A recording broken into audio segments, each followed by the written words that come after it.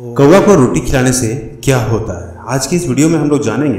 एक नहीं, बल्कि दस दस फ़ायदे। और ये जो दस फ़ायदे होते हैं, ये आपके लिए बहुत ही काम के होते हैं। क्योंकि इन फायदों में आपको आपके जो है संतान प्राप्ति का भी सुख मिल जाता है कौवा को रोटी खिलाने से। इसके साथ साथ जो है धन लाभ का भी संकेत आपको कौवा देता है। तो कौवा को रोटी खिलाने से धन की भी प्राप्ति होती है। तो आज को इस वीडियो को पूरा डिटेल में समझना। पूरे वीडियो को डिटेल में समझ जाओगे तो आपका बहुत ज़्यादा फ़ायदा होगा। तो वीडियो में कुछ इस तरह से है कि कौवा अमूमन हर जगह पाया जाता है। कई बार आपके घर के छत पर कौवा आता होगा।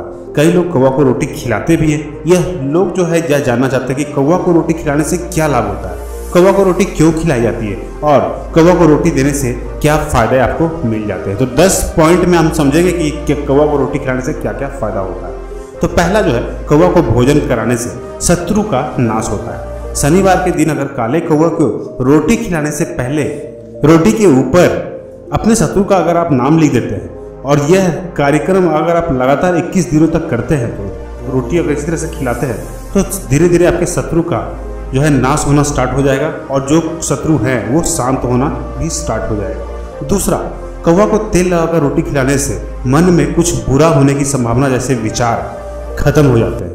कौवे को रोटी खिलाने से व्यक्ति के साथ कोई अनिष्ट नहीं होता है, या इसकी संभावना कम हो जाती है। हिंदू धर्म गाय को रोटी खिलाने की भी परंपरा है। गाय को माता लक्ष्मी का भी रूप माना जाता है। तीसरा, कई बार आपके परिवार के सदस्य मृत्यु के बाद नीच योनि के अंदर चले जाते हैं। इससे परिवार या फिर व्यक्ति पर पितृदोष लग जाता है। ऐसे में कौवे को श्राद्ध पक्ष में रोटी खिलाने से पूर्वजों को तृप्ति मिल जाती है और उनके कष्ट कम हो जाते हैं। इससे आपके पूर्वज जल्द ही नीच योनि से मुक्त हो पाते हैं। और इसके बाद आपको भी सुख शांति मिलनी शुरू हो जाती। चौथा, घर की छत पर सुबह के समय कौवा अगर काव काव कर बोलता है तो यह एक शुभ संकेत होता है। ऐसा माना जाता है कि इससे आपका घर शुद्ध हो जाता है। इस दौरान कौवे को रोटी खिलाने से पुण्य फल की प्राप्ति होती है।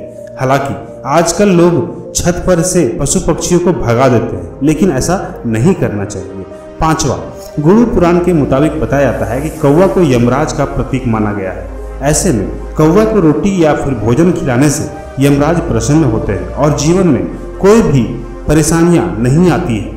यदि कोई कौवा बार बार किसी जीवित इंसान के आसपास मंडराता है तो इसका मतलब होता है कि जल्द ही उस इंसान की मृत्यु होने वाली है। छठा काला कौवा को भगवान शनि का भी प्रतीक माना जाता है। शनिवार के दिन अगर आप काले कौवे को रोटी खिलाते हैं तो रोटी खिलाने से कुंडली के अंदर जो भी शनि दोष होता है और जो शनि की साढ़े साथी का प्रभाव होता है, वो कम होना शुरू हो जाता है। काले कौवे को प्रत्येक शनिवार रोटी खिलाने से शनिदेव प्रसन्न होते हैं और व्यक्ति के जीवन को कष्टों से मुक्त करते हैं। सातवां, कौवा को रोटी खिलाने से बिज़नेस और घर में आर्थिक नुकसान होने से बचाता है। रोज़ाना अगर आप कौवे को रोटी खिलाने से बिज़नेस में होने वाला आर्थिक नुकसान जल्द ही बंद हो जाता है। वैसे भी हिंदू धर्म में जानवरों और पशु पक्षियों को भोजन कराना पुण्य का काम माना गया है। इस संसार की में प्रकृति ने सिर्फ़ मनुष्य को ही विवेकशील प्राणी बनाया है। इसलिए व्यक्ति को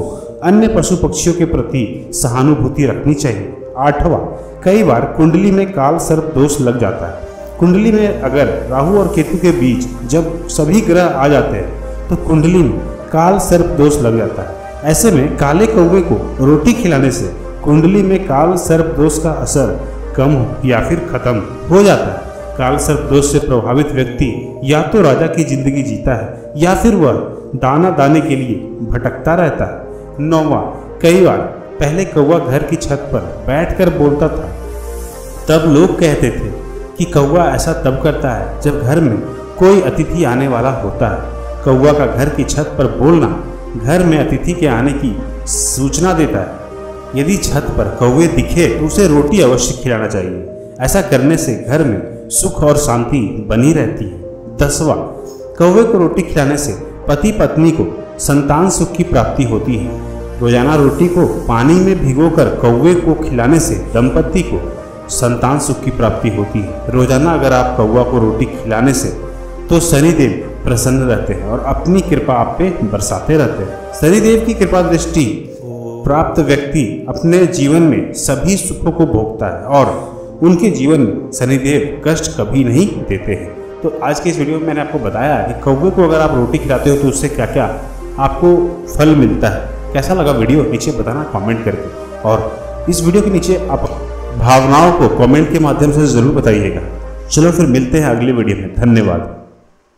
ओ